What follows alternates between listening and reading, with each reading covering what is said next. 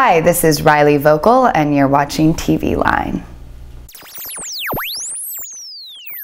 It's funny because I actually heard through the grapevine that there would be a wedding. Um, I wasn't sure that it would be mine, and um, it was just kind of a beautiful like fantasy to outlive this, you know, two people in love and to get to do, you know, a proposal and um, a happy wedding and have my family there and uh, get all dressed up and just get to play this character, kind of getting her perfect ending. I thought it was great. I, yeah, I thought it was about time, but then I had this feeling. I'm like, oh no, she's totally gonna leave Keelin at the altar. That's just what's gonna happen. She's gonna freak out. And then as I'm reading the script, and that's kind of what happens. Like she pieces out on the day that we're because she's afraid, as usual. You know, Mikaelson like, I'm gonna destroy the people that I love. And I'm reading it on the plane. And I'm like, you've got to be kidding me. Like this happens again, and then Keelin doesn't say anything, and then a few pages later, she lets her have it. And it's great. So we had it all set up outside and it just looked gorgeous. And then it just started pouring, and we're like, we're gonna have to shoot this wedding in a barn.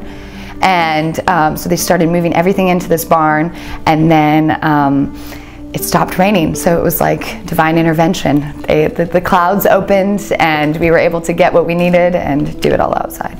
It's beautiful. It's stunning. It's outside on this gorgeous piece of land in the woods.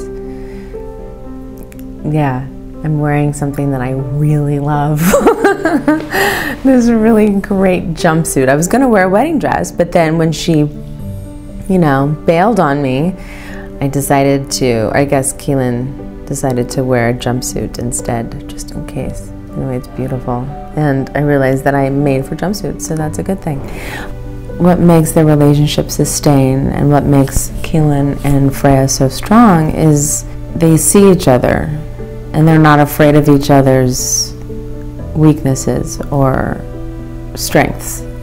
I don't know if Freya is always aware of that, but I think that feeling is there. And Keelin definitely isn't.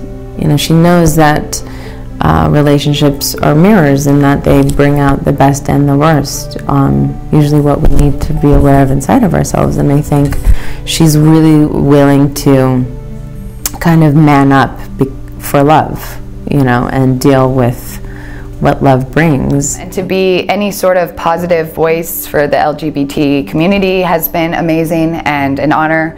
And um, just really to represent that love is love. And here's this, this girl, Freya, this witch who um, has been devastated most of her life and has never experienced really true love for very long and has just been disappointed and has dealt with loss.